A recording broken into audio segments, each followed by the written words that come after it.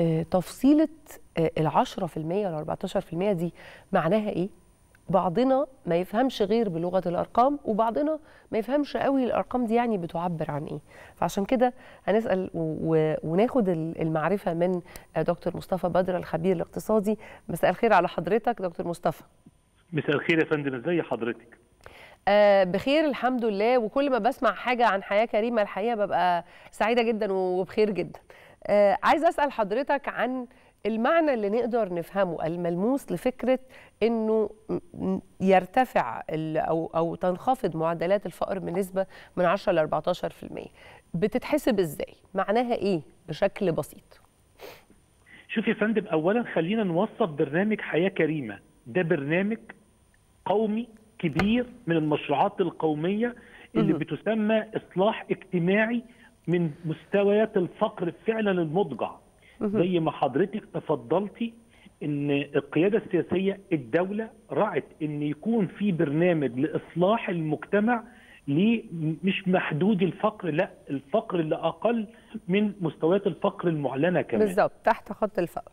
بالضبط ووصفته الأمم المتحدة والمؤسسات العالمية اللي هو بيسمى بالفقر المضجع أو اللي هو تحت مستوى الفقر اللي هو في حدود الأقل يعني من 2 دولار مرتبه أو مصروفه اليومي وطبعا ده رقم مسجل بقاله كذا سنة. فيعني رقم زهيد جدا لمستوى معيشة أسرة أو مستوى معيشة دخل بعض من الأشخاص وهستوضح حاجة في النقطة دي يا دكتور مصطفى. مش بس كمان الدخل لكن آه، هل هي كمان مستوى المعيشة ال- الخدمات المقدمة ليه اللي بتساعده حتى على إنه يقدر يكسب أكتر من كده أحيي حضرتك هو بقى ده الشق اللي مصر تبنت واشتغلت على هذا الجانب مم. صحيح إن مستوى الدخل مضجع بالنسبة لفرد أو لأسرة ولكن كمان الخدمات اللي بتقدم ليه وبتسمى الإعانات والتشغيلات اللي هي الخاصة بيه سواء شغل يعني سواء وسيلة انتقال التعليم متدني الصحة مش موجودة الصرف أو المياه كل ده تقريبا معدم في كثير من بعض من المناطق داخل جمهورية مصر العربية. علشان كده السيد الرئيس لما تبنى هذا الفكرة قال أنا هعمل مشروع كبير اسمه برنامج حياة كريمة هيكون ليه عدد من الأطر ترفع مستوى الدخل للمواطن. دخل مباشر ودخل غير مباشر. دخل المباشر يعني إيه؟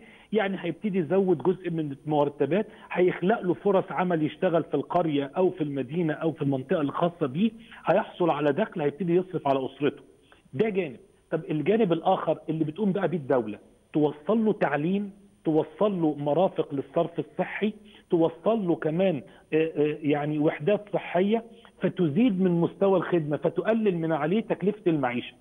بدل ما كان بينتقل من قرية للمدينة عشان يعالج أو لا قدر الله يكون في احتياج لأي مستلزمات فبيتحمل تداعيات مالية كبيرة فالدولة بتوفر له كل المستلزمات الأساسية ال- اللي هي بتعتبر بدايه من التعليم والصحة حتى وصولا للخدمات الأخرى بقى سواء بريد سواء آه، مصالح تجارية أو مصانع أو بالظبط. ما شابه لذلك إزاي يا دكتور بنقيس انخفاض معدلات الفقر يعني إيه المعايير اللي بيقاس بيها ده؟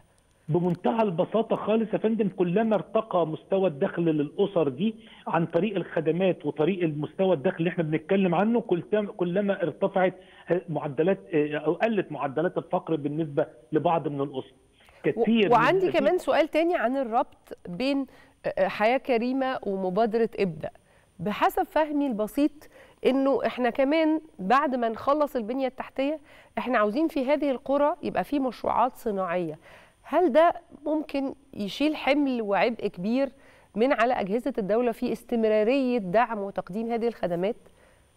بكل تأكيد في ربط كبير جدا يا فندم. الدولة بتحاول تربط مكونات التشغيل داخل الدولة بعدد كبير جدا من المبادرات.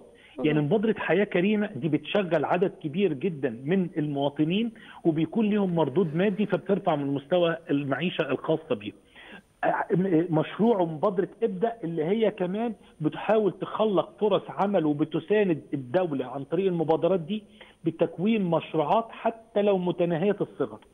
وأيضا الدولة كمان ما ننساش إن في توفير لفرص عمل في بعض من المشروعات القومية.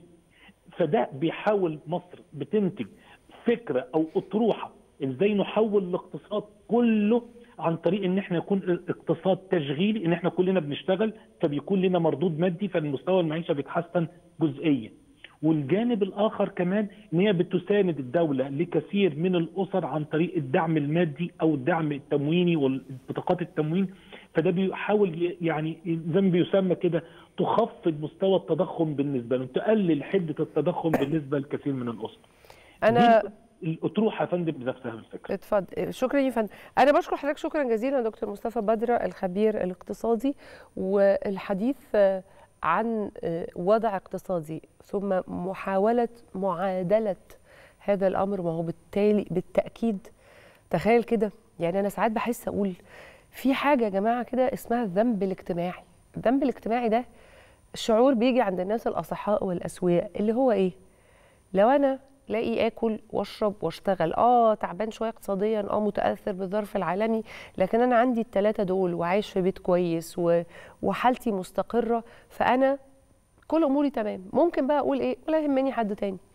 لكن الناس الأسوياء بيقول طب وغيري اللي الوضع الاقتصادي وقع منه واحدة من دول وقع منه محل سكنه وقع منه شغله علاجه حاجة من الحاجات الأساسية الملتزمات الأساسية في الحياة. فبطبيعة الحال بيبقى الواحد طول الوقت عنده إحساس بالذنب الاجتماعي. وأنا أقدر أعمل إيه للناس دي؟ اللي تقدر تعمله إنك تدعم ما يقدم لهم أو تدعمهم مباشرة طبعا لو تقدر. فعشان كده لما بنتكلم عن أهمية حياة كريمة حتى لغير المستفيدين بيها بنتكلم الناس الاسواق الطبيعيين اللي قادرين يفهموا المعضلة نفسها. الموضوع كبير جدا. جدا جدا أكبر من تصور أي شخص فينا بعيد عن الصورة أو ما زارش الناس دي وما زارش البيوت دي. عشان كده كل نجاح بيحسب لينا كلنا إنه نجاح كبير وفعلا فرحة حقيقية.